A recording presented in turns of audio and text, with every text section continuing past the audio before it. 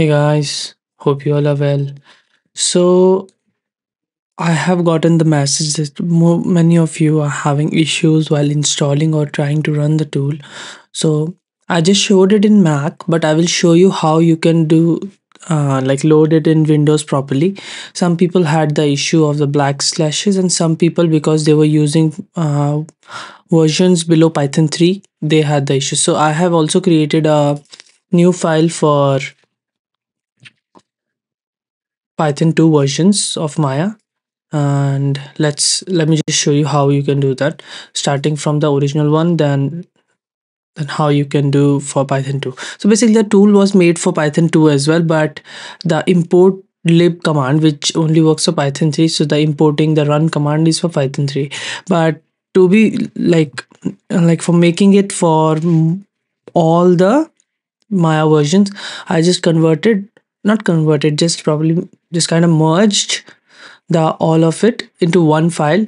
If someone wants to use in python 2 they can directly use it. I'll just show you uh, all of it. So let's just download this. Let's go here.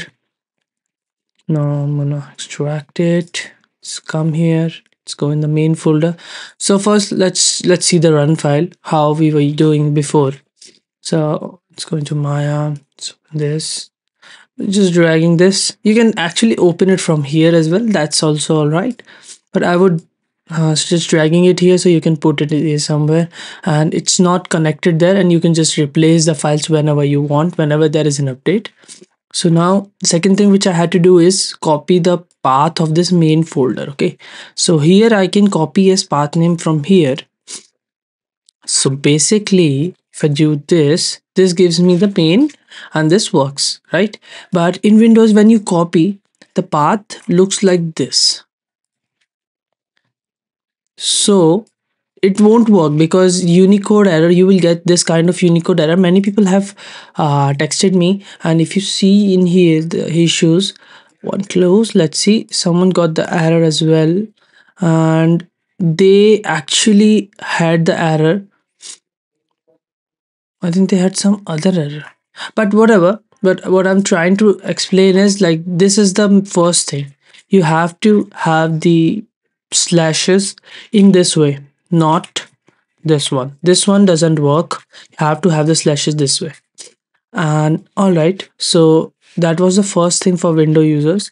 And then the second thing is like it's not for just window users. Anyone who is using python um, two versions of maya so 19 20 21 that sh- they should use this one. Um, let me just open this. This is this there is this python 2 file. Let me just open it here. And this should just work fine. All right so let's test it once. So i'm also confirmed that it is working. All right this is working fine. If this is working others are working i'm pretty sure of that so that's how you can use this re- vnskin tools in both python 2 and python 3 maya versions. And uh, just to repeat there is this py2 file. You can just directly drag it open it and copy it however you like. Oh, it's opening in xcode it's going to take a year but it's fine. All right have a good day guys